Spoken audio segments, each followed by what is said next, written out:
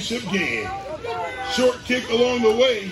Big man picks it up, trying to make something out of nothing. He gets a little room, cuts the corner, step on, and he could go.